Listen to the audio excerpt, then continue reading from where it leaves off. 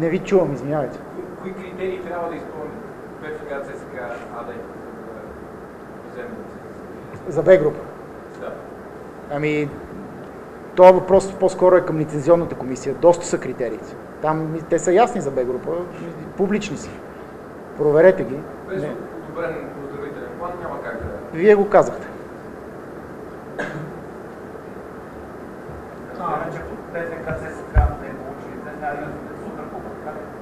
А, не, не, този въпрос не, не, го решавам, не го решаваме така. Супер купа първо е матч, който се администрира от лигата. Те трябва да го решат този въпрос. То няма насрочен такъв матч още. Така че предстои да видим.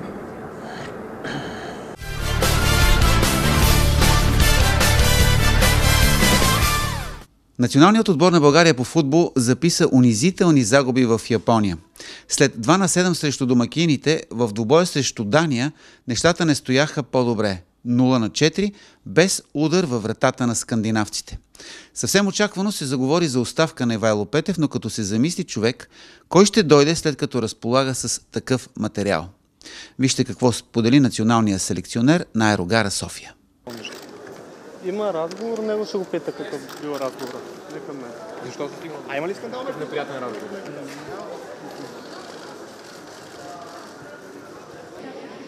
Господин Петев, тръгнахте с нагласта да печелите турнира, а се връщате с две загуби и голва разлика 2 на 11. Беше изключително лошо представяне от нашия отбор. Причините са доста. А, сега, каквото и да кажеш е маловажно, но въпросът е да анализираме това, което сме направили. Пак повтарям, изключително така лошо, лошо представяне на нашия отбор. На какво го отдавате? Ми, няма да конкретизирам, аз знам на какво. Може би в този период от годината не беше много удачно, но вече е минало. Няма, няма връщане назад. Това трябва да ни е така много голяма обица на ухото, за да може единственото нещо позитивно, което може да извадим е да че когато не сме на 100%, това е резултата. Има ли скандали в отбора? Скандали? Информации за някакви реплики между вас и Венци Христов. Между другото, той каза да питаме вас. Бе, глупости. Какви скандали може да се? Аз не знам кой, кой го измисли това нещо. Въобще, въобще не е имало. Както Той се... каза, той каза, че сте имали разговор. Че има разговор. Не, с- Че не сме имали... гол в приятелски матчове. Говори ли това нещо? Айде, моля ви се, айде малко по-сериозно. Ако имате нещо по-сериозно, питайте. Ли? Казахте, казахте, че отивате да надграждате това, което направихте. Идея, за жалост, получите точно обратното. Пак повтарям, този период от календарната година повече сигурно няма да се получи. С Борислав Михайлов говорихте ли? Това е между нас. Господин Раков каза, че сте сбъркали с селекцията конкретно в, за това турне. Ми, може и да съм сбъркал. Сега, аз не мисля, че имаме чак а, такъв голям брой играчи, които са останали тук, съм завел някои други. Това си е мое решение. Чувствате ли се за- застрашен за поста си? Друг въпрос. Смятате ли точни, за точни думите на Йордан Лешков, който каза, че футболистите са го ударили на почивка, поне според него? На това. Вижте, аз цялата отговорност я поемам аз, футболистите ги оставяме на страни. Има ли място за отстъпление, защото скоро идват и квалификациите и в крайна сметка противниците са според мен и по-силни от тези, които играхме на, Вижте, на вие контроли. сами сте видяли а, какви елементарни грешки, грешки допуснахме. Това е недопустимо в днешния, в днешния футбол. Но, пак повтарям, това трябва да ни е така много голяма обеца или голям шамар, който трябва да, да се превъзмогне и да се продължи. Който има характер това нещо да го направи, той ще бъде в националния отбор. Който няма, съжалявам. Оставате ли все пак оптимист? Какво пише в прес, българската преса след загубата 7 на 2? Позор, безсрамници, остав. Зор, нормално е това нещо. Нормално е това нещо. Ваша оценка такава ли? е? Ми, не мога да дам никаква друга оценка. Как? А, Вие видяхте, надявам се, гледали сте матча, по какъв начин ни допуснахме за, за кратък период от време голове. Станахме да смях, че японците са ни вкарали 4 гола с глава. Ми, смешно е. Смешно е. Има ли, без, има ли хора без характер за национални отбори? Така, имате ли в главата си такива, които скоро вероятно може да не дойдат в националния Ми, отбор? има. Нормално е да го мисля това нещо. И вие да сте на моето место и вие ще го мислите. Ще има ли Но сериозни така, промени в националния отбор? може и да има. Може да си ги позволим.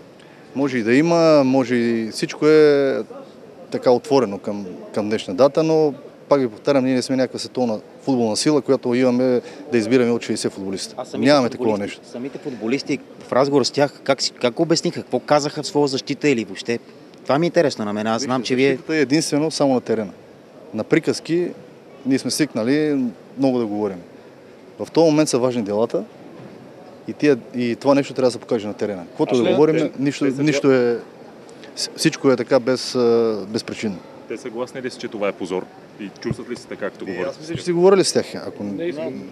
Ни- Еми, нормално е да не искат. Колеги, Нормално е. Колеги, имате предвид, че доста дълго пътуването, 15 часа на въздуха само. Окей, а, според вас, без да казват имена, имаше ли футболисти, които бяха на, на екскурзия? На екскурзия.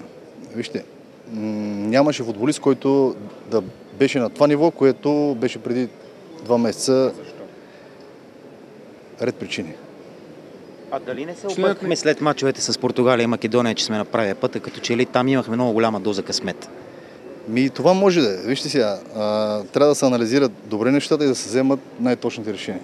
Все пак отговорете на всички тези призиви за, за оставка, защото ще продължава да бъде дъвчена тази тема, пък вие имате След-. Не, не след я искаме всяка ние, не искаме оставката. Всяка не я една загуба, след всяка една загуба вие сменен. Това е от една година насам. Ние не сме така световна футболна сила, в която може само да побеждаваме. Нали така? Така че, Тази загуба е как да ви отговоря? обаче, съгласете се. Съгласен, аз ви казах, аз това почнах. Нали така? Благодаря ви. Благодаря. Айде, не мога да среща. Чао.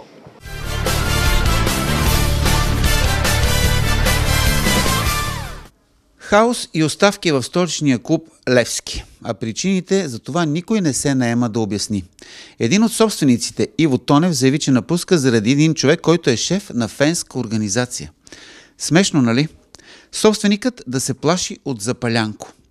Георги Иванов обясни пред клубната телевизия защо е решил да си тръгне от Герена. Вижте неговото обяснение. Причините са много. Може би вече натежа и последното нещо, което се случи на управителния съвет и оставката на Иво Тонев. Но трябва дебело да подчертая, че аз не си подавам оставката, защото Иво Тонев си подал оставката, а защото а, виждам, че в клуба не се работи примерно нормално и самите хора, които управляват клуба, така не са, не са единни, не дават добри сигнали и крайна сметка това влияе на абсолютно всички надолу по виригата и също и на феновете. Това означава, че има някакъв проблем и вътре в управителния съвет. Може ли да ни кажете точно за какво става дума? Аз няма да влизам в конкретика, но крайна сметка, за да стават всеки път скандали след всеки управителен съвет, значи нещата вътре не върват. Смятам, че когато и мъже седнат на масата и решават нещо, то след това не трябва да излиза нито по медиите, нито да си обясняваме нещо поди с декларации. За последната година сигурно 10 пъти съм искали оставката. Журналисти, фенове и какви ли не хора, легенди, бивши футболисти на Левски. А, Никой не е било самоцел да работя в Левски. Винаги съм бил даден на това, което правя. А, крайна сметка не смятам, че на някой трябва да обяснявам какво мога и какво не мога. Хората, които работят с мен, знаят най-добре и те могат да оценят какъв съм, защото, защото в медиите излизаха какви ли не неща. Инженер, неграмотен, 8 клас, какви ли не неща. Преглътнал съм ги тези неща и обиди неща, примерно, които някакви хора а, така се опитат да ме уязвят. А, крайна сметка те не ме обиждат. Но а, причината да си подам оставката всички тези неща, които не виждам единство в ръководството и не виждам единство и в феновете. Значи решението ви не е импулсивно. Не. А, вижте, аз не съм си подал до сега оставката, защото, примерно, ако след като сега съм си подал, аз назад не се връщам. Каквото и да се случва, аз повече няма да работя в Левски в този момент. А, прекалено много така, негативни емоции се събраха и прекалено много неща се случиха през тези две години, които а, само хората, пак казвам, с които работя, знаят през какво сме минали, знаят как а, нямахме пари за бюджет, който а, така да осигурим добри футболисти.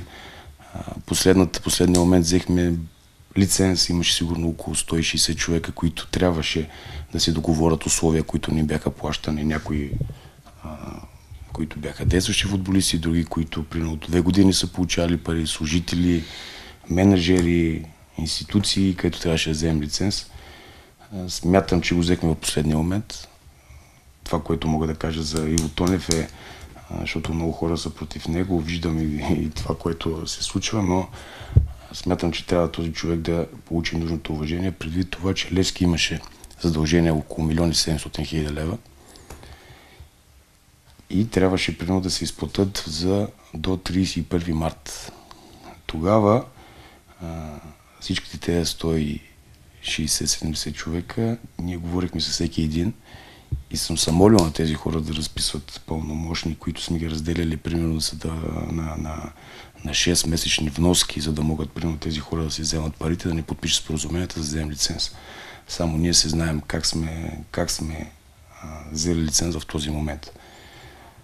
В следващия момент, за да, което беше най-важното, се оздрави клуба, да се изплатят задълженията. Затова и бюджета на Левски беше 160 хиляди. И почнахме с 9 човека а, футболисти лятото. Като управителен съвет тогава а, задачата беше да се класираме отбора в Лига Европа и да създадем отбор.